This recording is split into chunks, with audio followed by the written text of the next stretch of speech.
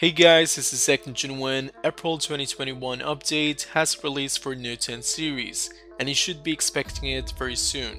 The update finally brings up ultra-wide support in Pro mode, and auto detection at night for hyperlapse, and the overall stability which is awesome. In this video we'll show you the benchmark of Antutu compared to previous updates, and the PUBG gaming performance. Before we jump into the main topic, if you're new to the channel, it would be awesome if you could smash the like icon and subscribe. It really helps the channel to grow and motivates me to make more awesome videos for you. Without further ado, let's get started.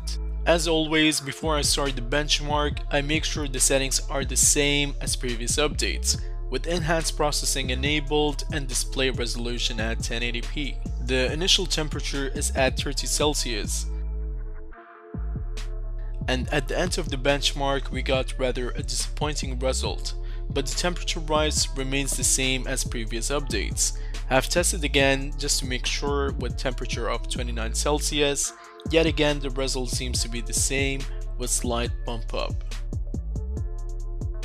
I said it before but I'll say it again, the January update was the most stable for me with 10 hours and 30 minutes of battery life an excellent performance with zero bugs as it is the final update for One UI 3.0. After upgraded to One UI 3.1, the performance degraded in March update and furthermore with April update and I'm experiencing more issues like black screen when calling or unresponsiveness and less battery life. I wiped the cache from recovery but it didn't help.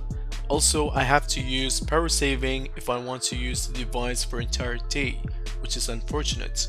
Yet another disappointing result, when gaming the FPS drops by 10 FPS in less than 2 minutes of gaming, when normally it drops by 1 to 2 FPS. I really hope Samsung fixes these issues.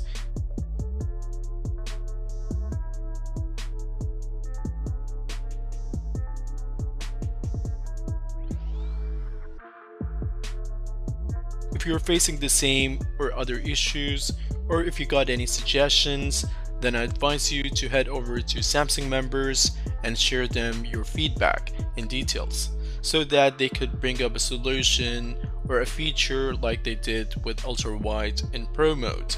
Anyways guys, thanks for watching, do like and subscribe and see you in the next one. Peace out.